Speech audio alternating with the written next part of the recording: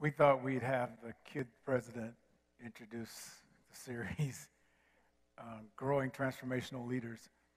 This is um, a very important part of where we are, especially in not just our community, in our nation right now. We, we really need leaders, and we need leaders who can actually transform the people around them. And Today we're introducing a series, and part one in the series is t- we're going to be talking about discovering the leader within you, um, which is very important. But I do want to say throughout the rest of the summer, we're going to be talking about um, these different parts.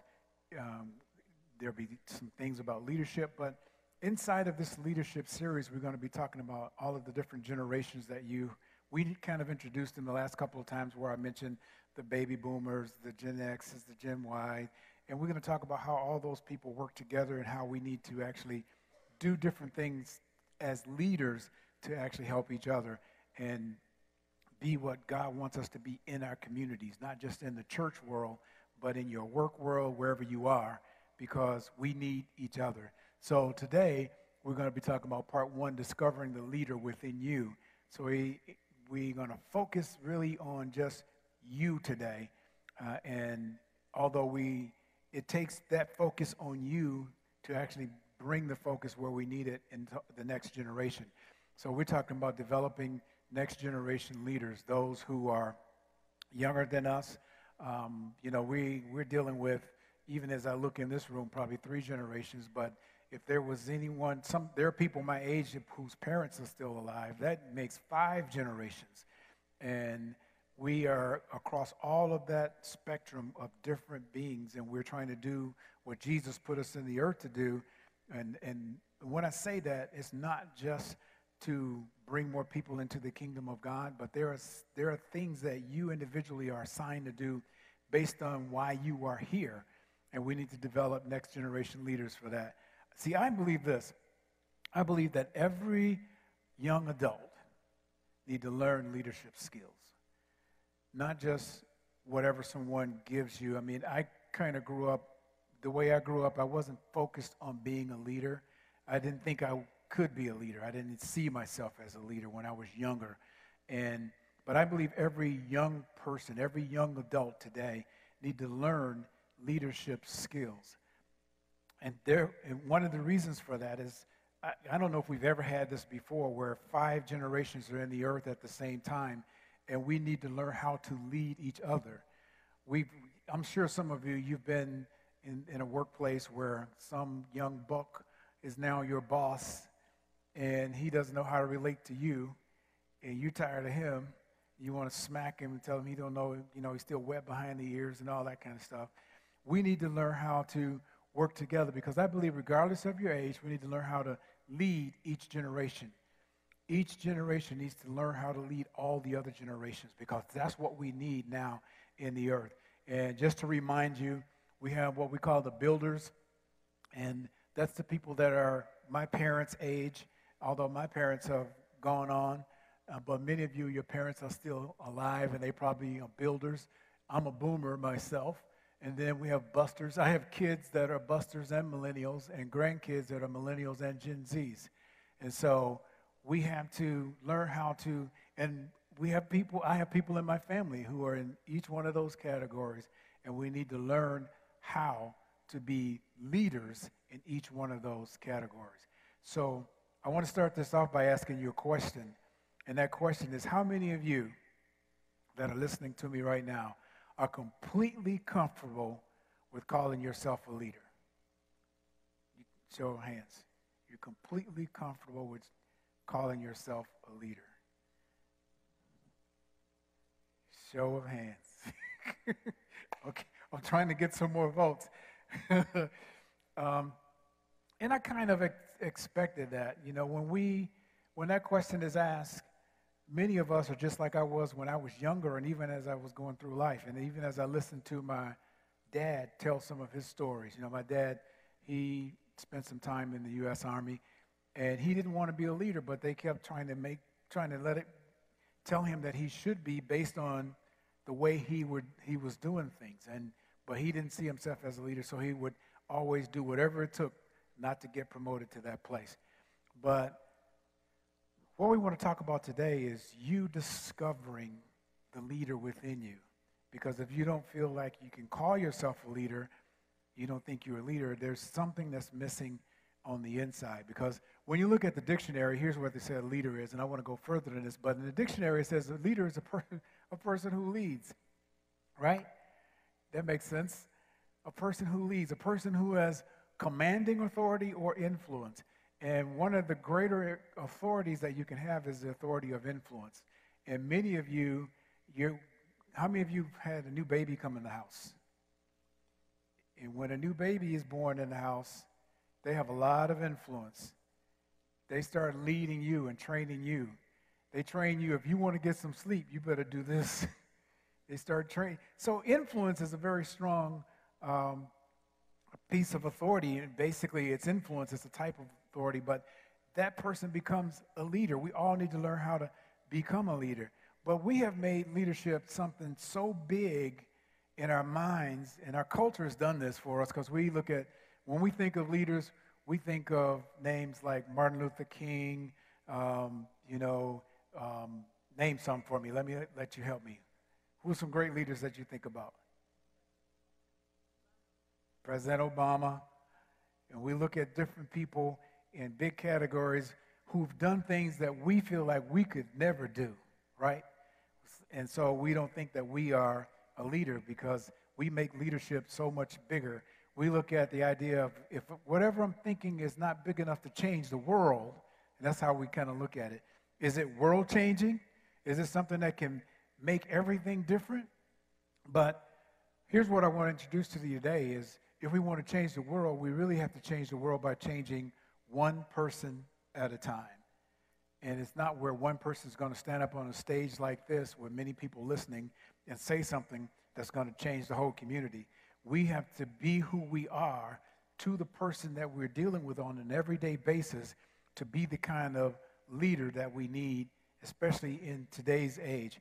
So I want to share a story um, with you, and it's the Drew Dudley story. I don't know if you've heard of Drew Dudley. Drew Dudley is um, he's an activist, but he's he's a writer, he's an author, and he has um, his story is this, and this is kind of where I want to lead into today's message. He was at a school. He's he's in Canada. He was at a school in Canada, small university, and he had been there, and he was advertising and promoting uh, some health benefits for some different things. And so while he was there on campus, and he'd been there for several years, or at least he ended up being there for several years, and one day, he this student came to him and said that since I, this was he was this was going to be his last day there, and this student came to him and said, "I remember you from the first day that I came to the school, and I was standing in line. Well, first of all, she's the lady, the girl told him that the day before my parents and I, we were in a hotel waiting for me to register the next day. And I was so afraid. This is my first day at a university away from home. I was so afraid, I didn't think I could really do it. I was ready to go back home, just scared. And so my parents, she, the girl said, was amazing because they said to me, they said, look, we love you, but just wait until tomorrow, go register, and if any, at any time, you feel that you really can't do this, then just let us know and we'll take you home. And so, which is really a another story of great leadership. Sometimes we don't know how to be a leader. Some of us would have said, Look, I, I, I paid all this money up to this point. You going to school. you better learn. Anyways, but parents were great parents. And so the next day, she's standing in line to register, and she starts to feel that feeling that she talked about, where she was just overwhelmed and felt like she couldn't make it. And she said that, and she's telling Drew this, and so she's telling him that just as I was about to tell my parents, take me home, she said, You stepped out of the student union building with this stupid looking hat on, with a bucket full of lollipops, and you were going down the line giving the kids that are registering a lollipop. And when you got to me, you stopped and you stared at me and you just looked, and you looked at the young man that was next to me, who was also a stranger, and you pulled out a lollipop out of the bucket and gave it to that boy and said, You, sir, need to give this lollipop to this beautiful young lady, which is embarrassing the boy. He, she even tells the story. She says the boy turns red and, and was so afraid that he didn't even look at her, but he just held the lollipop out for her to get it. And so she said, I took the lollipop since I felt so bad for the boy. And I took the lollipop. And just as I reached to take the lollipop, she said, Then you, Drew, said this to my parents. You said, Look, look at this. First day away from home, and she's already, already taking candy from a stranger. Then everybody just start cracking up and laughing. But she said in that moment, something happened that caused her, and she don't know what it is. She just said something happened that caused me to know that I can do this, that I'm going to be okay here. This is going to be a good place for me. And then she decided not to leave. And so she said to him, So I heard that you were leaving, and this is your last day, and I wanted you to know how much you have, what you have done to change my life. And just that little bit of something that seems like nothing, that actually Drew says, even to today, he says he don't even remember doing that. So how many of you have maybe done something like that? You probably don't even remember it, but you definitely wouldn't think that it was leadership quality, right? But how many of you have had someone in your life that has done something, regardless of how small it is, but it changed the course of your life for the better? It, you've done, they said something, it could have been a word, could have been something they've done, but it set you on a different course that put you in a better place, causing you to be where you are now. How many of you have experienced somebody in your life like that? And, and many of us have. And many of you who don't think you have done anything like that, maybe the only reason that you don't think that is because the person just hasn't told you yet. Just like this girl, she didn't tell him to the last day he was getting ready to leave, four years. As a matter of fact, she said, It's been four years. And she said, By the way, I'm still dating that young man. And then he said, when he moved to Toronto, a year and a half later, he got an invitation to their wedding. And so you, you just begin to build something on a life where you've changed a life and it, it put him on a different course. That's if you Google him now, you talk, you'll see he's written a book, he's done some things because he talks about now leadership as being something, it's an everyday thing, not some big, huge, change the world thing. It's something that we need to do as we do it on a daily basis, but we need to see ourselves as a leader. And but many of us, we are afraid even of that term. We think that, you know, this is too much for me. Uh, one of the things that Marianne Williamson said is that our greatest fear is not that we are inadequate in what we do, especially when we talk about leadership, but she says our greatest fear is that we are powerful beyond measure. In other words, we actually have so much power on the inside that that's what we are really afraid of. And so, what I'm saying today is we've got to learn how to overcome that fear because deep down on the inside of each one of us, God has created us to become a leader. Every single one of us. And I know we got, you, we're probably wondering, you know, how's everybody going to be a leader? But we've got to learn how to overcome that fear and become what God has put in us to become. So I want to talk, I want to share a story as a narrative in Scripture of someone who dealt with something like this, but then I want to show you that God really created each one of us to be a leader. And this story is the story of Moses. Many of you, if you've been around church for any period of time, like I have all my life, then you've heard stories about Moses. I mean, his story begins with, you know, his mom um, with actually Egypt. A- after the children of Israel had come to Egypt, because of a famine and down there in Egypt, but they began to grow and multiply. And they became so many that the Pharaoh became afraid that they would actually take over. And so what the Pharaoh did was order that all of the baby boys be actually killed, thrown into the Nile. And so Moses' mom, she put him in a basket and put him in the Nile, and then Pharaoh's daughter found him. That's the way the story goes. She found him, and Moses grew up as a young man in, in Egypt as one of the kids of the Pharaoh, having everything that he needed. And later on, but he knew he was a Hebrew.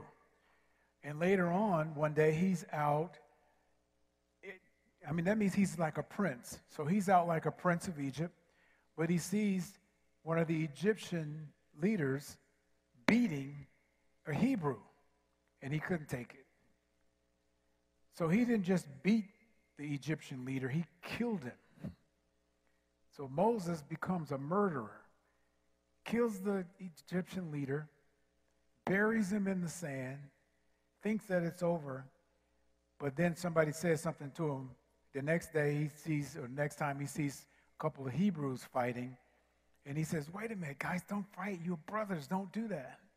And they say, What you gonna do? Kill us like you killed the Egyptian? Then he knew, it was like, oh my God, they do. So he knows he's a murderer. It's just like, it's the same reason why criminals, if you know and you see somebody kill, see them kill somebody, what do they do? They say, I got to kill you because you're going to tell. I got to I gotta shoot you. And so Moses left. But anyway, our story begins here. Now Moses left. He's in back in, in, um, in his own land and he's actually where, living, he's married now, has kids, has a wife, has a father in law. And this is where Moses now, he's a shepherd. Nothing near like being, you know, um, in Egypt as a prince. But our story begins here. So it says, Now Moses was tending the flocks of Jethro, his father in law, the priest of Midian, and he led the flocks to the far side of the wilderness and came to Horeb, the mountain of God. And this is the place, this is the same place where God eventually told Moses, that I'm going to bring you here and you're going to worship. You're going to lead the children of Israel out of Egypt and you're going to be back at this same place that I'm showing you. So here we see Moses' job. Moses sees himself as what? He's a shepherd. It says he had his father in law's sheep, and that's what he was doing on the far side of the desert. So he's a shepherd. He doesn't see himself as a leader, he's a shepherd. And many of you, sometimes you identify yourself with whatever you whatever job you may have. But your job doesn't identify you. Your job doesn't tell you who you are. You know your job is just what you do. You are far more than what you do. And so moses didn't realize it but he's far more than a shepherd and god is trying to tell him this. So the next verse says there was an angel. There was there, the angel of the Lord appeared to him in flames of fire from within a bush. Moses saw that though the bush was on fire, it didn't burn up. And many of you, you've heard the story of the burning bush. So Moses sees this bush on fire, but he doesn't, it's not being consumed. The leaves are not turning brown and crumbling and falling, and things are not burning up. It's still green. And so the next verse says, he thought to himself, so he says, I'm going to go over and see what this strange sight is, why this bush is not burning up. And then when the Lord saw that he was moving towards the bush and going to see what it was, then God called out from the bush and called his name, Moses and Moses. So now Moses knows that this is God, and Moses says, Here I am. I don't know what I would have said. What would you have said? You walk up to a bush and it calls your name twice. No mistake. It's like, yeah, here I am. and then he says, Don't come any closer. Take your shoes off, take your sandals off. This is holy ground. You're standing on holy ground. And then Moses began to say, We're going to skip down a little bit, but Moses, you know, he's thinking about, Take my shoes off. This is holy ground. What are you talking about? So God explains to Moses that I have heard the cry of the children of Israel. They've been crying out to me, and I need you to be a deliverer to get these people out of Egypt and bring them here. So we're going to sk- skip down to the ninth verse. And the ninth verse begins to tell us that it says, And now the cry of the Israelites has reached me, and I have seen the way that the Egyptians are oppressing them. And he explains the story, but look at the next verse. He says, So now, And he says, So now go. I'm sending who? You. I'm sending you to Pharaoh to bring my people to the Israelites, to bring my people, the Israelites, out of Egypt. To this, Moses says, What? Just like you and I would say, right? Because the Pharaoh's like a king. Moses sees himself as a shepherd, and you're telling me you're going to send a shepherd to go talk to a king about letting some people go? So Moses is conflicted about even why God is even talking to him. He's like, You need to find a leader. And many of us would feel the same way. You need to find a leader. I'm not a leader, I am whatever. And then God told Moses, He said, Look, regardless of what you see yourself as, I will be with you. And this will be a sign that I'll be with you and that I've sent you. He says, When you have brought the children of Israel out of Egypt, you're going to bring them back to this same place that I'm showing you right here. This mountain right here is where you will be. And this will prove to you that I sent you to do this. And then Moses began to argue with God. He says, Suppose, he gives him a scenario. Suppose I go. I'm not making any promises yet. But suppose I go to the Israelites and say to them, now he's not even talking about going to Pharaoh yet. He says, Suppose I go to the Israelites and say to them, The God of your fathers have sent me. And that was a big thing when he says, The God of your fathers, because they all identify with that. And that was the promise that God made to Abraham and then Abraham's son Isaac, and then Isaac's son Jacob. And so all God had to do was remind them that the same thing that I promised to Abraham, Isaac, and Jacob. I'm the God of Abraham, Isaac, and Jacob. And they, that was like a memory, that was a part of their culture. So God says to Moses, You say to them, The God of your fathers has sent me to you. And, they had, and, and Moses is saying, And they will ask me, What is his name? Then what shall I tell them? And then God said to Moses, You tell them, that I am sent you. I am sent me to you. Tell them that. I am. In other words, I am everything that you need. I am, I am it. I am sent you. God also said to Moses, Say to them, The Lord, the God of your fathers, the God of Abraham, the God of Isaac, and the God of Jacob, has sent me to you. Now, Moses was a shepherd, right? He saw himself as a shepherd, not a deliverer, not any kind of leader.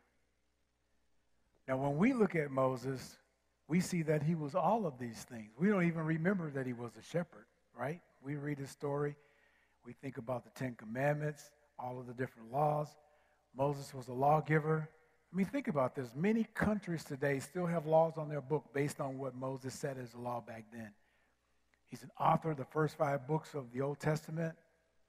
Moses, an author, he's a leader, led the people, deliverer out of Egypt. He led them, got them out. But Moses wasn't ready to see who he really was. In other words, he had to meet himself. God, and that's what God did there at the burning bush, was to help him see himself. So when you meet yourself, the real you, sometimes that's scary. Because when you think about what the real you may be required to do and can do and have the ability to do and been prepared to do, but you're not ready to do that. You still see yourself and you're where you're comfortable.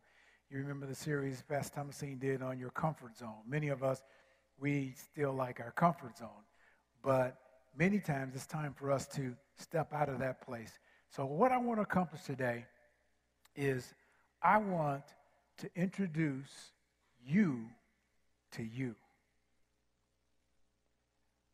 God created, and this is what I believe God created every single person to be a leader. Every single person God created to be a leader. And I know our brain, you know, because I start thinking the same thing when I first start thinking about this. If everybody's a leader, then who's going to follow, right? You've heard we said that everybody wants, we've seen people in certain situations where we say everybody wants to be the chief and we ain't got enough Indians to get the work done. You've heard that said before. But God created every person to be a leader. I want to show you in Scripture where in the book of Genesis, the first chapter, 26th verse, and you've heard me talk about this before if you've been around here anytime. But then God said, Let us make man in our image, in our likeness. God is saying, Let us make man in our image and our likeness. So he makes man in his image. So in, in that they may rule over the fish in the sea and over the birds in the sky and over the animals and over all the creatures that move along the ground. And the verse, uh, next verse says, So God did that. So God created mankind in his own image. In the image of God, he created them, male and female, he created them. And then God blessed them and said, Be fruitful, multiply, increase in number, fill the earth, and subdue it. In other words, dominate it, take rulership over it, master it. You are the leader. And it says in there, we just read it, male and female. So it's not just men that are leaders, it's male and female. Mankind. God created all of us to be leaders. He actually said that. He said, rule, have dominion. That's what the rule means. Make, have dominion over the fish in the sea and over the birds in the sky and over every living creature that moves on the ground. So, what is it that we don't have rulership over? If you notice, he never said rule each other. He never said dominate each other. But he said dominate everything on the earth, everything that moves on the ground, everything that's in the sky, everything that flies, everything that fishes, everything in the water, everything that everything. Dominate that, rule it. And so that's everybody. God wants every person to be a leader. So here is the next question that I know you have in your mind, and I've thrown it out there. If everybody is a leader, who is the follower? Who's, who's the follower? Who then follows when everybody becomes a leader? Because, I mean, I, you know, you think about it, you say, okay, you're trying to get everybody to see that they're a leader, and eventually everybody will become a leader. And then when everybody becomes a leader, then who's going to be the follower? Well, I have a scenario to show you. Take a look at this picture. This is a picture of a car. Most of us don't look at a car like that, but that's a car. Can you identify some of the parts in the car? We see some wheels. We, we see the wheels. We see the seats. We can, you see a door. We can identify certain parts of the car. Do you have any idea how many parts are in a car? Take a look at the next slide. The next slide shows us that there's an average of over 30,000 parts in the average car. Over 30,000 parts in the average car. So, my question is thinking about this car and all these parts, what part do you think is the most important part?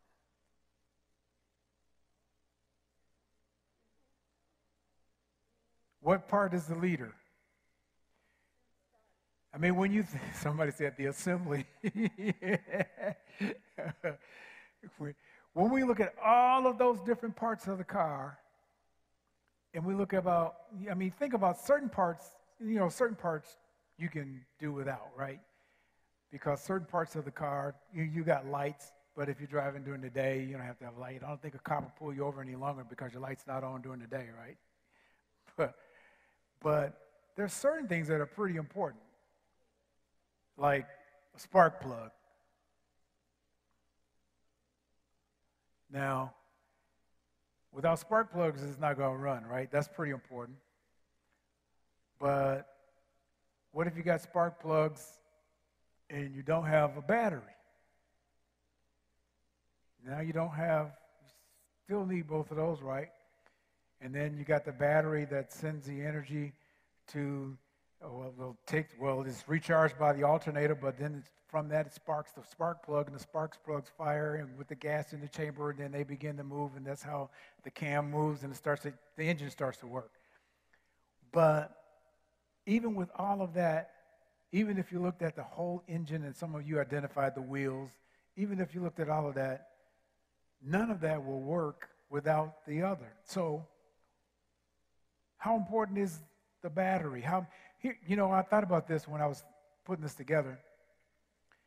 My first brand new car that I bought, no, second brand new car that I bought, I had a head gasket go bad, and I decided to change it myself while I still owed money on the car. I went, I was working in a plant where they built these anyway. So I observed the people that were working on the line. I learned how to do it. I went home, I convinced myself, I can do this. So I went, got, took it apart, took the heads out, went to a place, had the heads ground, all everything, put the gaskets in, put everything back together, and then I was scared to turn the key on. Just scared. I was like, and when I finally did, through the windshield, I saw this blue smoke coming up.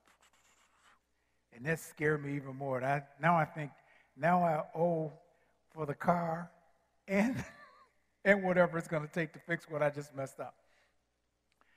So I called the place that I bought all the information from, and they said, Well, what did you do? There's a wire that goes from the battery to the frame. And anyways, it had insulation on it. So all I'd really done was that wire was not connected where it was supposed to be, and it just burned the insulation off of it. And once I did that, it was fixed. But that little piece of wire cost about $4. Without that piece of wire, the car didn't work no matter how I had a battery, I had the engine fixed, everything.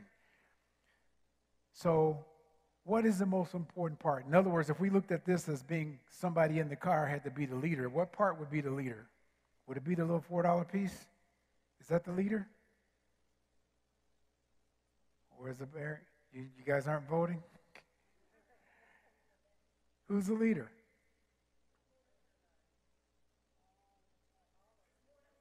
All of the parts. Okay. So let's move forward then. You're right. Who all of the parts.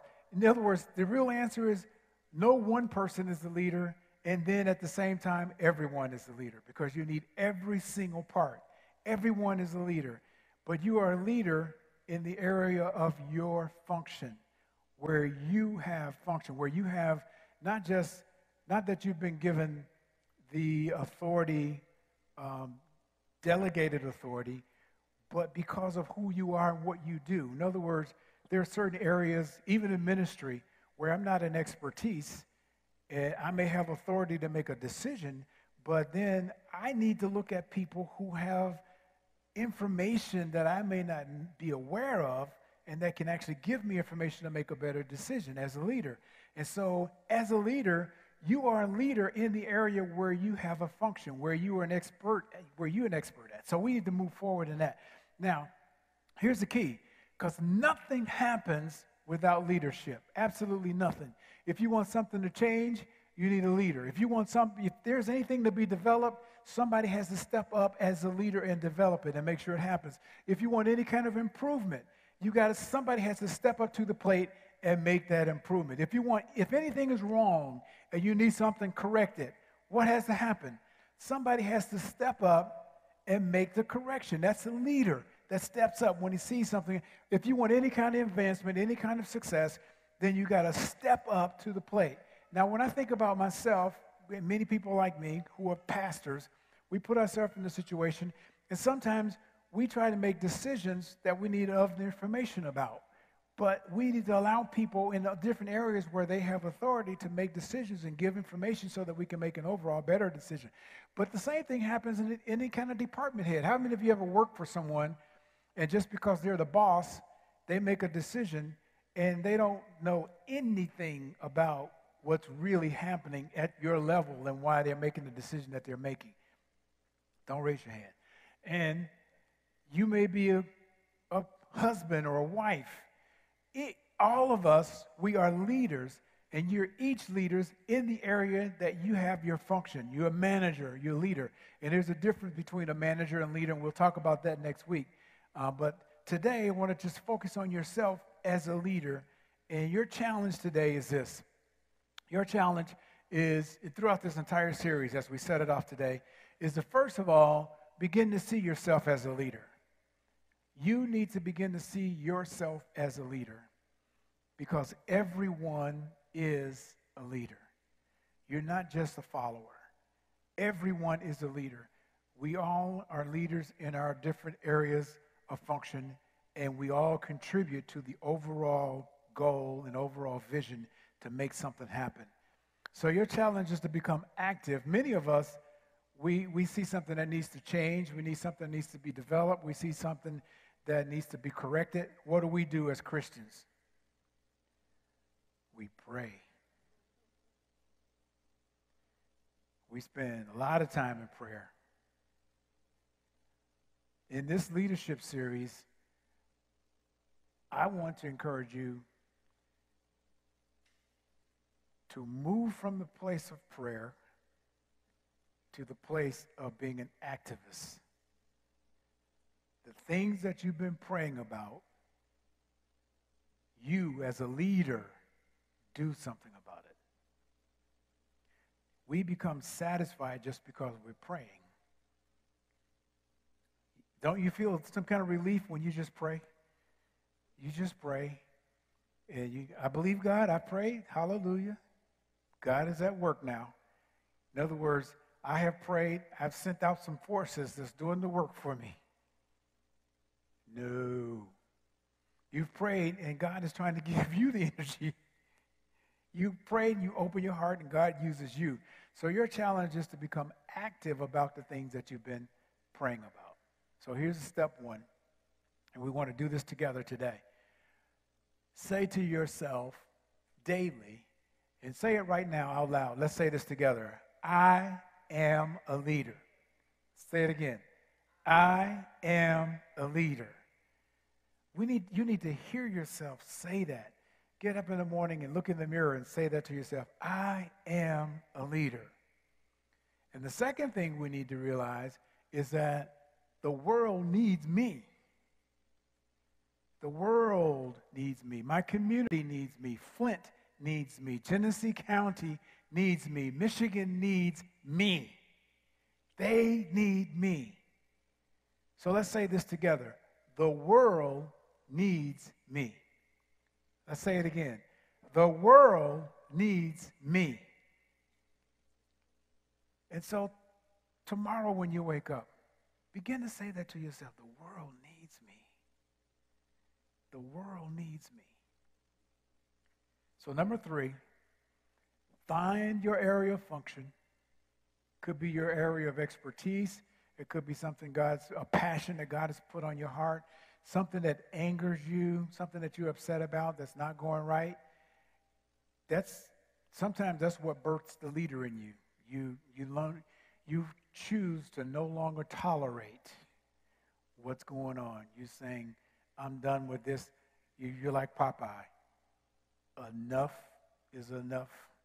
And what does Popeye say? It's all I can stands. Can't stands no more. Anyway, when you get to that place where you can't stand it no more, then you are ready to be, you're turning on that leadership thing on the inside of you. You're discovering yourself. And that's what I want to initiate today is to help you begin to discover yourself, the leader within you. Discover who that is and let that person out. Let that person make some noise. Let that person do some things. Let that person become active.